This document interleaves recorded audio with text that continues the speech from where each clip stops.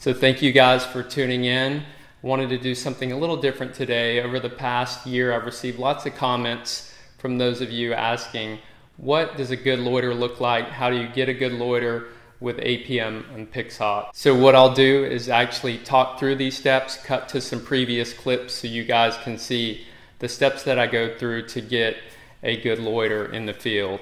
Step number one, I always recommend having some good mounting tape to hold your PixHawk or APM to your frame. As you guys know, the more rotors you have, the more susceptible you are to vibration. And 3DR packs some good double-sided sticky foam in each box with the PixHawk. The next thing that I recommend is always do a really good compass calibration routine. Compass calibration in Mission Planner can be tricky at times, but what you want to do is face north rotate your multi-rotor two times around the pitch axis, then turn 90 degrees and rotate your multi-rotor two times around the roll axis. Then your compass offsets will be saved. Once the calibration is done, you always need to be concerned about any sort of interference coming off of each of these ESCs. Run the compassmot command, see what your interference is like, and you can always use a GPS antenna mast to actually design this and 3D printed it. It's on Thingiverse. I'll post a link to it below. Compassmot is a nifty command line utility and mission planner that will log your ESC interference. What you do is you flip your props over and rotate them one position so that you can spin your motors up under load.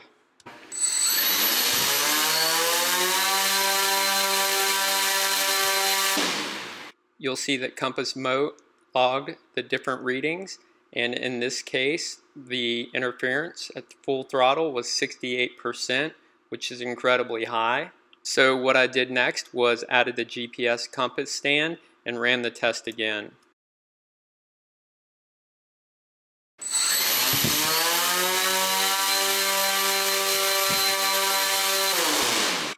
Now you can see that with the stand our interference is substantially lower at 4%. Once you take care of those items you're ready to get in the air but not quite ready to loiter yet so I always recommend getting it up in stabilized mode and then running an auto tune.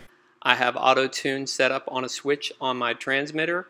Make sure that you do this on a calm day and you'll notice that it's currently tuning the roll axis and then we'll automatically switch to the pitch axis.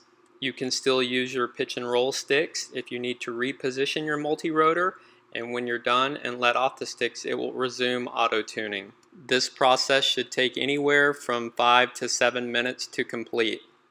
And once you do your auto tune and bring your multi-rotor back down you can always feel free to tweak those gains. Sometimes they're not perfect so I'll need to go in and adjust. So once that's done, you're ready to loiter. Make sure you got a good GPS fix, have that flight mode set up on your transmitter, take it up in the air, toggle into loiter.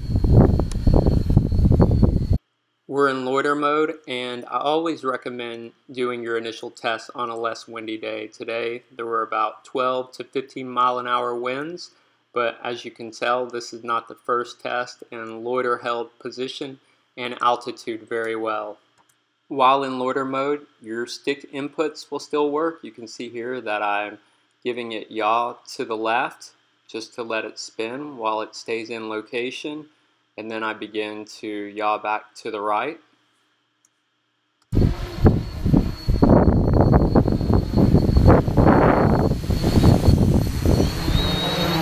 So those are the steps I go through to get a good loiter. There's further tuning you can do, but those will definitely get you to where your loiter is dialed in.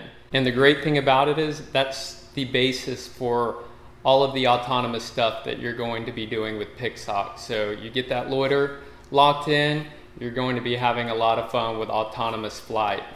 I'll put links to all of those video segments below if you guys want to check them out individually.